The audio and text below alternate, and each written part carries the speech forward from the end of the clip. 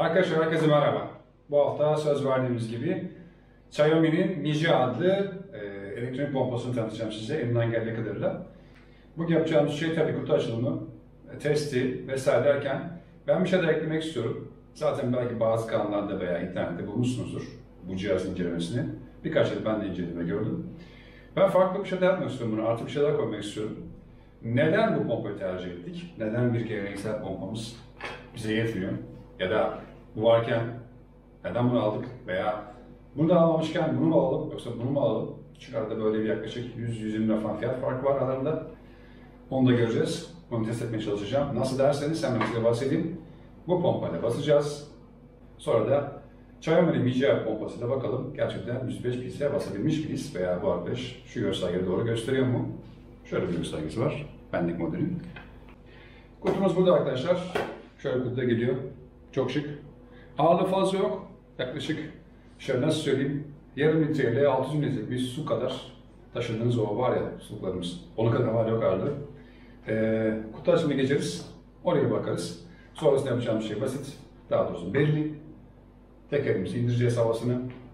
Bu arkadaşları şişireceğiz. Göreceğiz. Kaç dakika şişirebiliyor patlamış tekeri. Bakın ne kadar zamanda bu havayı tam olarak istediğiniz pinsel çıkarabilecek. Şimdi dilerseniz hiç zaman kaybetmeyelim. Hemen kutu açılımına geçelim. Daha sonrasında ne yapacağız? Bu cihazı test edeceğiz. Orada görüşürüz. Cihazın kutusu bu şekilde böyle geliyor. Çok şık kutusu var. Sanki Apple iPhone alıyormuşsunuz gibi. Ee, bu marka gerçekten kendini geliştirdi bu konuda. Gayet de güzel şeyler alıyorsunuz. Kalitesini alıyorsunuz. Şimdi hızlıca kutuya hemen yandan bakalım neler yazmışlar. Demişler ki önceden tanımlı e, basınçlara basabiliyor. Chargeable, taşınabilir. İşte taktığınız e, lastiğin o anki e, basıncını gösterebiliyor. Maksimumda 150 psi'ye kadar basabiliyorum diyor bu arkadaş. Tabi onu da test edemeyeceğiz. Sonuçta 150 psi'ye basacak bir noktamız yok. Cihazı patlatmaya gerek yok. Burada kısaca belirtmiş bazı şeyler ama önemlisi şurada e, batarya kapasitesinin 2 miliamper, pardon 2000 miliamper olduğundan bahsetmiş. Burada da bisiklet, motosiklet, araba ve e, topunuz varsa onları şişirmek için e, kullanabilirsiniz diyor. Hemen kutuyu açalım hızlıca.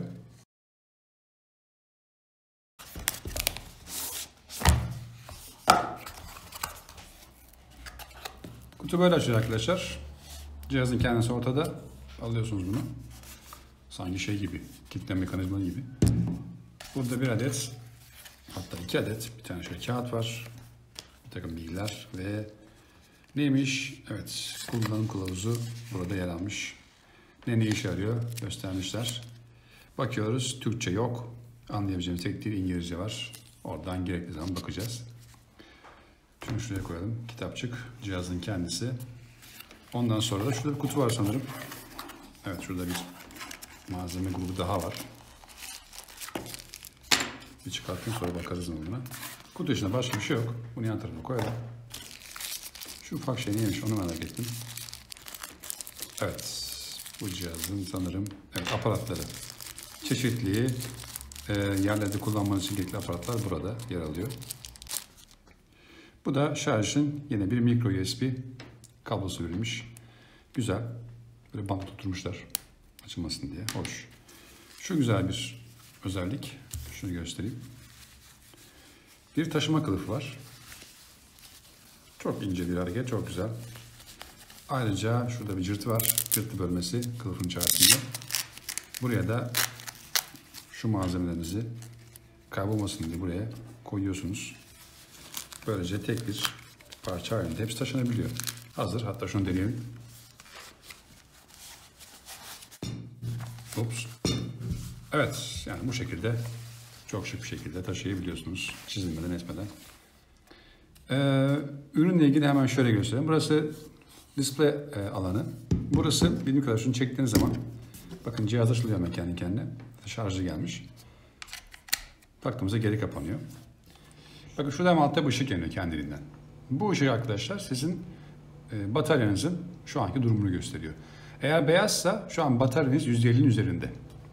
Eğer turuncuysa %20 ile %50 arasında. Yani kritik yaklaşıyor demektir. Kırmızıysa artık kritik seviyededir. Mutlaka şarj edin diyor. Ayrıca bir öğre daha var. Diyor ki bu cihazı kullanmadan önce mutlaka tamamen şarj ettiğinizden emin olun bir kere tam bir şarj yapın diyor. Onu da yapacağız. Şu tuşlardan bahsetmiştik. Ne işe yarıyor diye. Ondan önce şuradaki USB portunu gösterelim. Adettendir. Micro USB portumuz burada. Gayet kalite materyaller kullanılmış. Tabi yanlarında böyle delikler var. Bu cihazın e, hava alması için gerekli olan havayı nereden alacak? İçeride bir pompa var sonuçta. O elektronik pompa çalışıyor. Bu yanları alarak havayı basıyor. Bir de e, şu tuşlardan bahsedelim. Şu RTX tuşları yukarıda aşağıda. Burada PCI'ne yapıyorsunuz. istediğiniz gibi. Ondan sonra başlatıyorsunuz ortaya basınca. E, şu tuş şeyi açıp kapatıyor. Bakın burada ışık var. Karanlık vakitte, akşam vaktinde tekenizde hava basmak için görmeniz için çok e, nasıl diyeyim şık düşünmüş bir hareket. Şöyle göstereyim. Bu da modlar arasında geçiş. Şu an bisiklet modunda. Bakın 45'ten falan başlıyor. Düşebiliyorsunuz. Ee, bakın şöyle bisiklete PC iken motosiklette bar yazıyor. Tekrar basınca. Arabada da bara geçmiş. Toptayken tekrar PC'ye geçiyor. Buradan basıyorsunuz. Şöyle söyleyeyim bizim e, yol bisikletlerinde özellikle e, kullanılan Presta tipi var, varflar var biliyorsunuz, siboplar var. E, diğer tip bisikletlerde shredders bulabiliyorsunuz e, iç lastiklerde. Zaten bu cihaz önüne gelen direkt e, ucu shredder olarak geliyor. Siz Presta basmak istiyorsanız benim gibi Presta için bu yanında gönderilen iki parça var hatırlarsanız. Bir tanesi top için şu iğne gibi. Bir tanesi şu küçük parça. Bu küçük parçayı vida şeklinde şöyle zaten kendi ağzı var. Buraya bu şekilde vidalıyorsunuz. Böyle duruyor. Şu an bu PlayStation yeterlidir diyor kullanma kılavuzunda. Şunu da ekleyelim. Bu cihaz şarja takılırken aynı anda çalışmıyor. Şarjını bittikten sonra şarjını çıkartıyorsunuz. Sonra kullanıma hazır oluyor. Ee, tavsiye edilen şarj e, voltajları şöyle 5 volt olacak ve 2 amperlik bir adaptörle bunu şarj etmeniz gerekiyormuş. Tabii yanında bir adaptör verilmiyor. Kendiniz bir yerden temin edeceksiniz. Muhtemelen bu sahip olduğunuz telefonlarla yapabileceğiniz bir işlem. Evet arkadaşlar şimdi deneyeceğimiz şey şu. Ee, bakalım tekerledikten sonra bu 105 ps'ye ne kadar zamanda basacak onu deneyeceğiz. Ama ben burada önce size bir şey göstermek istiyorum. Cihaz burada. Ee, üzerinde ve yanında gelen malzemeler şunlardı. Şu siyah parçayı buraya taktığınız zaman preste döndürüyordunuz. Şöyle bir şey ben gözlemledim. Bunu test ettim. Şimdi normalde bahsedilen bir özellik vardı bu cihazla ilgili. Ee, taktığınız zaman herhangi bir siboba içindeki basıncı gösterecekti. Değil mi? Bunu söylemiştik. O basıncı görmek için şu parçayı kullandığımda siyah olan yani gösterdim bu parçayı kullandığımda tekerin basıncını göstermiyor. Ben kendime ait olan şu parçayı taktım. Bu da e, Shredder'dan Presta çevirici Decathlon almış oldum. Şu borunun üzerine gelmişti. Çevirici borunun üzerinde. Ekstra parça gelmişti. Bunu taktım. Bunu takınca göstermeye başladı. Size şöyle göstermek istedim bunu. Şu açalım bunu. Kapandı yine. Çünkü bir süre sonra kapanıyor. Şimdi bakın direkt takıyorum tekeri. Çevirerek. Biraz basıp bıraktıktan sonra içindeki ne kadar hava olduğunu gösteriyor. Direkt takınca göstermedi. Ben bunu beceremedim. Belki bu cihazı eksi puan buradan vermemizde fayda var.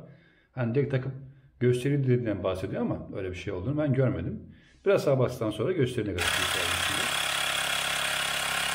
Bakın biraz daha bastım. Şu an 100 pc olduğunu gösteriyor.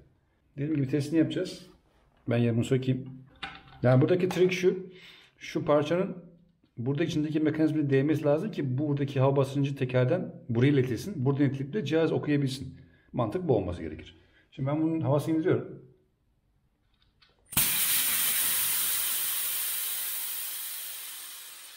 Şu an tamamen indi. Bakın lastik yerde. Çok da fazla bekletmeden hemen bunu takalım. İyice yerleştirdim. Bu cihazı çalıştıracağım. Bakalım ne kadar zamanda lastik sıfırdan şişecek. Bu arada presetimiz 106-107 yapalım. Basalım.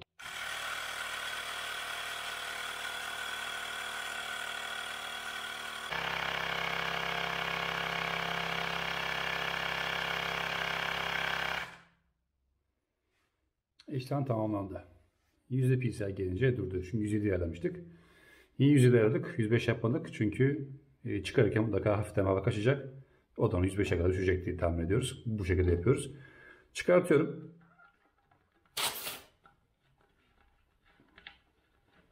105'e kadar düştüğünü gördük az önce böyle bir saniyelik olsa.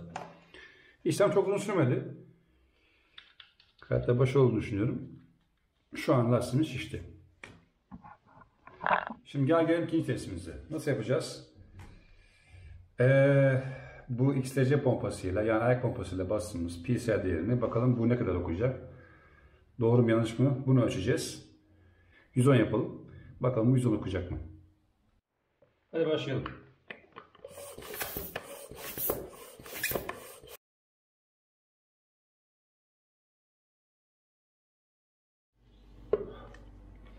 Evet yaklaşık 110 PSI'ye bastık. Bayağı da yordu. Şimdi çok hava kaçmadan çıkarmaya çalışacağım bunu. Evet. Bu yan tarafa alıyoruz. Bunu takalım şimdi. Şu an göstermiyor. Basmaya başladığında gösterecek diye tahmin ediyorum. 112 ayarlayalım ki doğru göstersin.